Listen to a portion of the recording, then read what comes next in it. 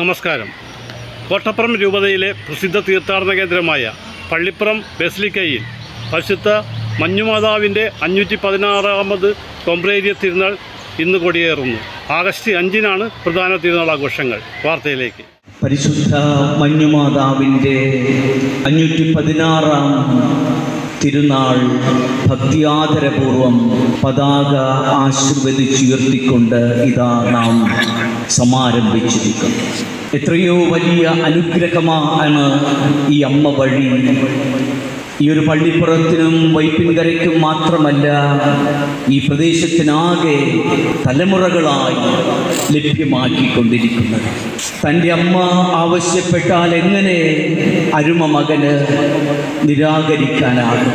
അങ്ങനെ അമ്മ വഴി നാം ആവശ്യപ്പെട്ടിട്ടുള്ള എല്ലാ കൃപാവരങ്ങളും നമുക്ക് തലമുറകളായി ലഭിച്ചിരിക്കുന്നു ആ അനുഗ്രഹീതമായ പൈതൃകം പാരമ്പര്യം പേറിക്കൊണ്ടാണ് ഈ പെരുന്നാളിന് നാം തുടക്കം കുറിച്ചിരിക്കുന്നത്. കൊടുങ്ങല്ലൂർ കോട്ടപ്പുറം രൂപതയിലെ ചരിത്രപ്രസിദ്ധമായ പരിശുദ്ധ മഞ്ഞുമാതാവിന്റെ തീർത്ഥാടന കേന്ദ്രത്തിൽ മഞ്ഞുമാതാവിന്റെ തിരുനാൾ ആഘോഷങ്ങൾക്ക് ഇന്ന് കൊടികയറുകയാണ്.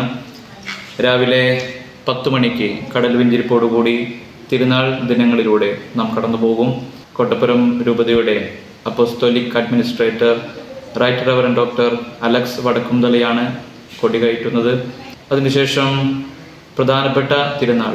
നമുക്കെല്ലാവർക്കും അറിയാവുന്നതുപോലെ എല്ലാ വർഷങ്ങളിലും സാഘോഷം നമ്മൾ കൊണ്ടാടുന്നതാണ്.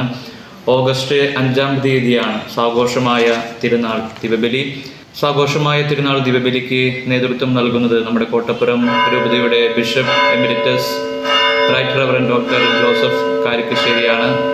അനുദിനം വചന സന്ദേശം നടത്തുന്നത് കെ സി ബി സിയുടെ family commission secretary reverend doctor Cletus Kathirparambil അച്ഛനാണ്.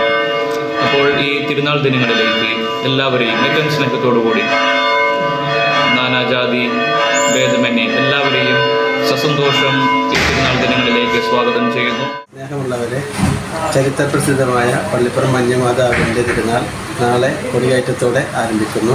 നാനാജാതി മതസ്ഥരായ എല്ലാവരെയും ഈ തിരുനാളിലേക്ക് സ്വാഗതം ചെയ്യുന്നു. പ്രധാനപ്പെട്ട തിരുനാൾ ആഗസ്റ്റ് അഞ്ചിനും എട്ടാം തിരുനാൾ ആഗസ്റ്റ് പതിനഞ്ചിനുമാണ്. എല്ലാവരെയും ഒരിക്കൽ കൂടി സ്വാഗതം ചെയ്യുന്നു. രാവിലെ കടൽ വെഞ്ചിരിപ്പും മത്സ്യബന്ധനത്തിന് പോകുന്ന ബോട്ടുകളുടെ ആശീർവാദവും നടന്നു. ഞാൻ C J Joy life coach reporter North Paravur.